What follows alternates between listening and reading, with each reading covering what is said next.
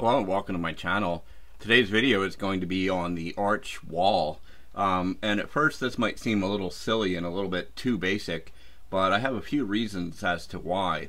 Um, the arch wall uh, uses an edge to, to build itself, and there are some caveats and, and things you need to pay attention to to get a successful wall. So in order to understand, to do the wall first, I thought it'd be a great idea just to do a single line so it doesn't get confused with some of those caveats.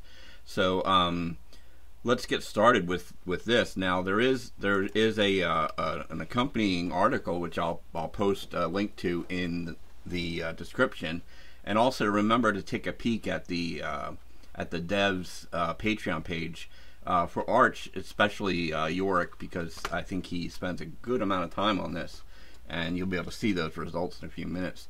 So this is basically the wall we're going to do. It's a block wall, so I'm, you know, I'm not an architect or a builder. Um, I just like figuring out FreeCAD and other programs. so basically, the the wall is based on an edge. So I have one edge here, so that we can, you know, keep it simple and focused. And um, and uh, basically you select that edge and then use the wall tool. So let's let's go through that and I'll show you how uh, the properties allow you to add and view blocks. So it's, it's fairly simple. So let's start with a new document. Um, but one of the things I'd like to mention though is that you, you, um, it's before you use the Arch Workbench, I'd get it. You know, I'd work to get a good understanding of the um, of the draft workbench as the Arch Workbench seems to work best with that. Now it does use sketch wires and stuff as well, um, and but I you know I can't really comment on how well it works with that or not. So one of the reasons why I'm I'm doing just a single single wire is. Um, like uh, if you do a rectangle it doesn't make a wall it makes a block so and you know that might be something that's fixed by the time you try this or not I don't know um, so, but again, I want to make this so it stays applicable.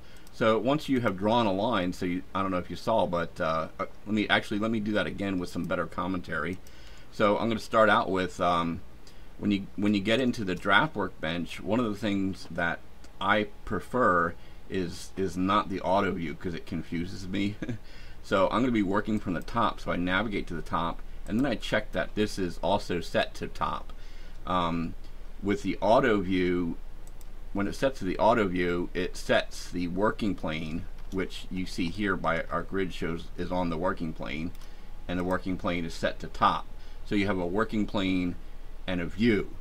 When it's set to auto, it snaps the working plane to the view whenever you execute a tool, and that's confusing to me. And it was probably just confusing that explanation, but so at any rate, I'm just going to do a line, and I'm working plane is looking down from the top and working on the top. So now I'm going to, working plane is important for Arch too, especially like when you're adding windows.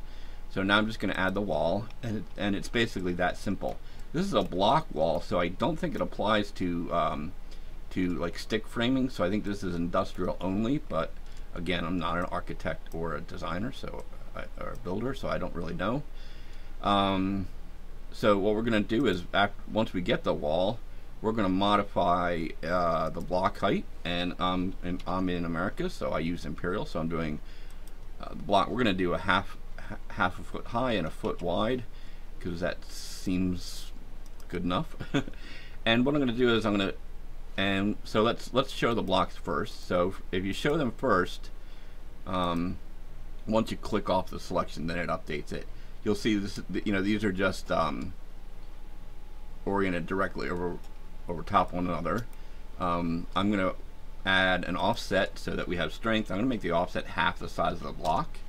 So you can just change these measurements based on your locale and, and the needs. So now, now you see we have offset blocks.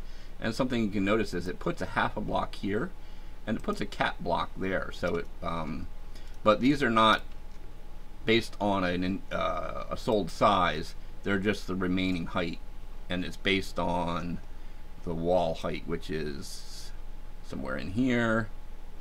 Yeah so it's based on that. So you could you could get an even distribution or not depending on your block height. Um, so don't think oh this is this is the block I can order and I'm good to go. At any rate um, the other thing I want to do is I want to add mortar.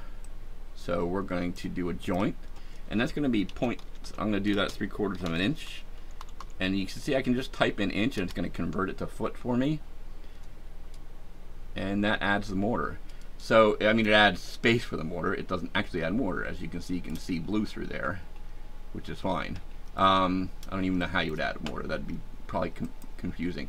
So yes, you could accomplish this with an array, uh, a block in array, but it's a, it'd be a lot more work. Um, so this has made it easy for you.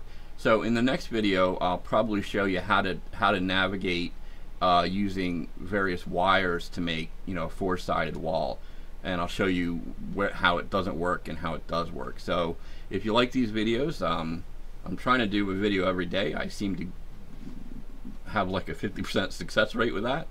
Uh, I'm going to be doing Arch for a while because it interests me and I ran out of part design ideas. so if, if there's a series that you really want to see, let me know in the comments. Like, uh, you know, I think I'm going to be going through just the different components of FreeCAD one at a time instead of building a model because uh, this just makes the videos a lot easier.